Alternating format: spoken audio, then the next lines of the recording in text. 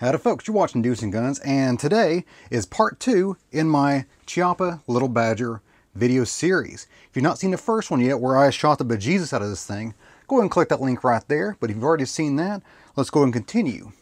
Now, I did some internet Googling, and from what I could tell, there's only one other company beside the Little Badger company themselves, Chiappa, that makes any kind of upgrade kits or parts for this firearm, and that is Longshot Manufacturing. You have the same Longshot Manufacturing that makes all the really cool Hi-Point upgrades. They also make a bunch of upgrades for the Little Badger from Chiappa. So, went and contacted them, and they sent me a bunch of stuff, pretty much everything they make to upgrade your Little Badger. Let's take a look at it. While I was editing this video, Longshot sent me an email showing off their brand new DC mod attachment system.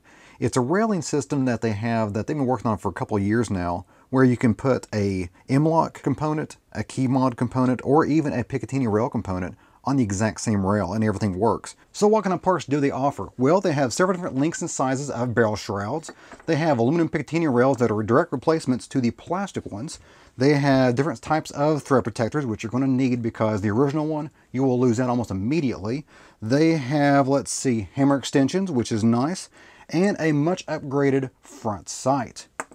Oh yeah, and an actual grip. An actual grip. Remember I was talking about that in my last video. An actual grip to put on this thing. All right, well, let me bring you in closer and we're to change out some of these parts. First of all, we'll take off these plastic Picatinny rails here and they come off very easily using a number 10 Torx head here. And now at this point you have a decision to make. Do you keep the rear sight or not?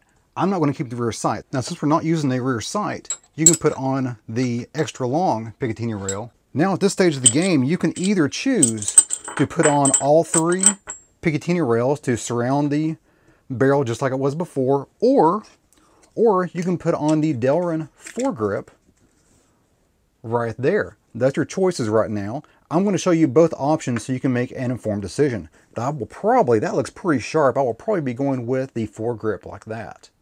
And Longshot provided two different lengths of barrel shrouds here, a short one and a long one. I think I'm going to be pretty partial to the long version here, so let's go ahead and slide that onto it. There we go, and that should bring it right up to the front sight, and it does. Now let's do something about the stock here.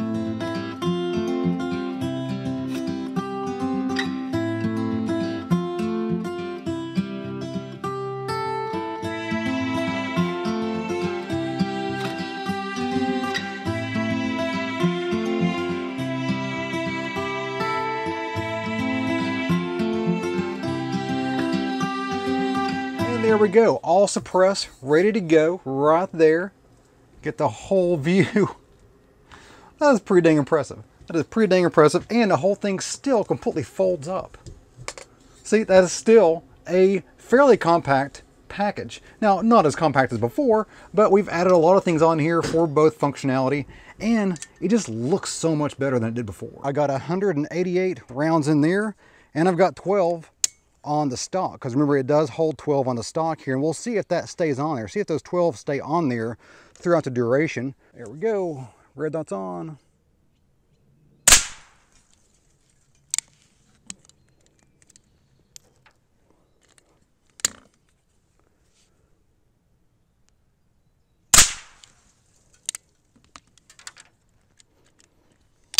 The Delrin is staying nice and cool.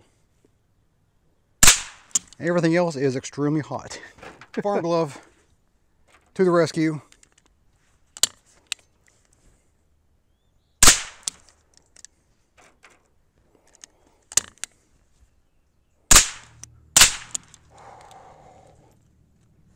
Oh, last one. Number 200. Whew. Aha. Oh go find some shade.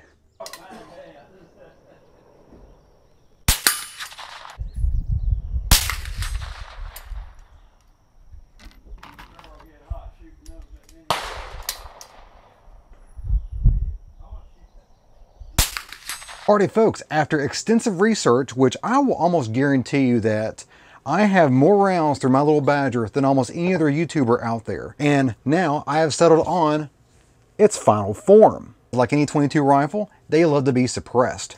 And behind the suppressor, I have the factory front sight because I'm not using it. I'm using a red dot sight. So I wanted something low and out of the way so it did not interfere with my actual sight. Behind the front sight, we have Longshot's full-size barrel shroud, which don't be fooled by it. It is not going to protect your hand from heat. It heats up just almost as fast as the barrel did. So it's not going to really protect you from, from heat when you overheat the barrel. It is purely an aesthetics issue, but it does look and feel pretty good. And behind that, we have Longshot's Delrin forearm grip here, which takes the place of the two side and the bottom Picatinny rails. So instead of holding a cheese grater, you're holding something that's actually meant for human hands. And now the optics I settled on was, it's basically just a cheap red dot from Amazon. It's a field sport. There's a picture of it right there.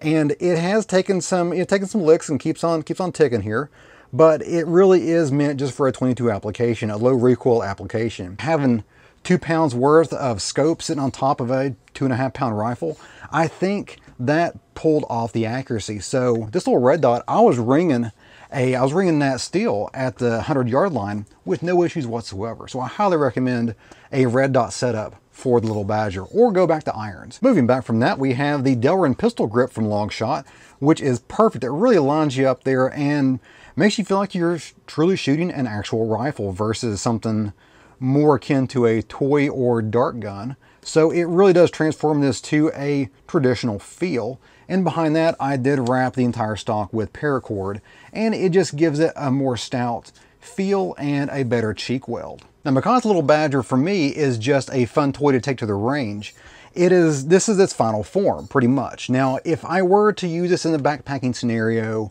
or any kind of camping scenario where I needed it to be more compact, because if you do put all this stuff on here, it does not compact nearly as tightly as it does from the factory. So if I did need to compact it further, fold it up and really pack it away in a backpack or something, then I would of course strip down what I needed to to get the job done.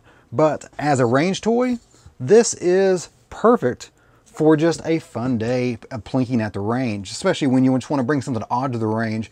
Or if you're if you're having a bad day at the range, you can always pull this out. You know it's going to work. You know it's going to function. And remember, if you were interested in the products from Longshot Manufacturing for your little Badger, your Hi-Point carbines, and I believe they also make stuff for AR-15s, the link will be in the comment section below the video. Well guys, that's it for me today. Hope you enjoyed it. If you did, give me a like and go subscribe. A lot more is on the way. And if you have any comments, questions, or show it is, leave that in the comment box below the video. And of course, like always, you guys have a great day. See ya! And because YouTube's algorithm hates any video below 10 minutes long, here's some additional footage of me shooting the little badger and some extra pics of Longshot Manufacturing's new DC mod rail system.